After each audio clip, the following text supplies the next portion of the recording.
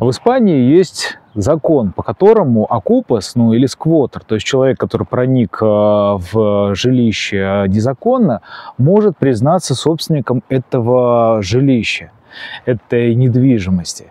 Для этого, по сути, нужно выполнить всего пять условий. В одном из своих видео я заикнулся о том, что есть такой закон, и тут на меня посыпалось. Да ты ничего не знаешь, да ты такой, да ты секой. Короче, кучу-кучу-кучу негативных комментариев от э, всезнающих мира сего. Чтобы Акупаса признали собственником э, недвижимости, в которую он проник, ему нужно выполнить всего 5 условий.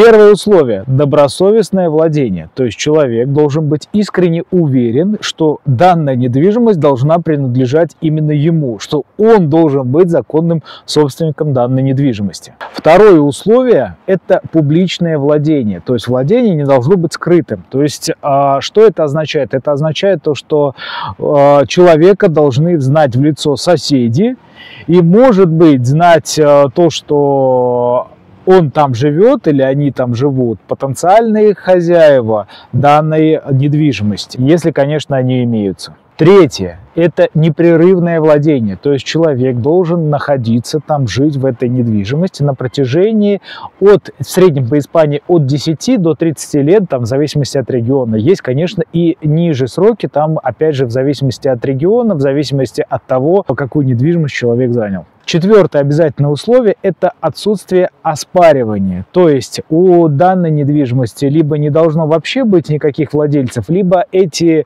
владельцы не, пред, не должны предпринимать никаких попыток э, вернуть данную недвижимость себе в собственность на протяжении всего срока владения. И, наконец, пятое.